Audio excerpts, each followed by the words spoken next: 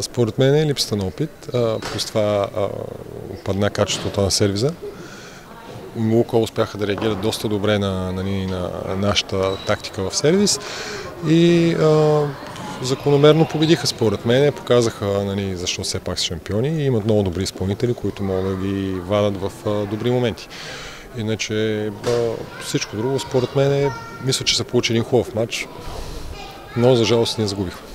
Оптимист съм, че във втората половина на първия, на първия полузон вече ще покажем много по-добър волейбол това. Волейбол, който играе нашия отбор в момента не е добър определено. Отбора на Руса седеше доста добре, определено им липса класа, имат добри създатели в лицето на Милушев, на Кота Стойков, който за 41 години направо страхотен волейбол показва, но определено имат някои липси.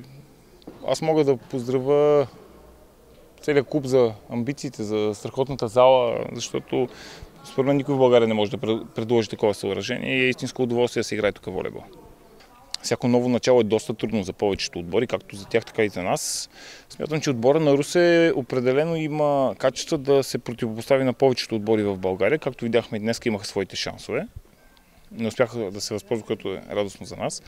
Но пък определено, ако върват по този начин, смятам, че от втория полусезон ще могат да демонстрират доста по-добър волейбол и имат шансове да играят в плейофите.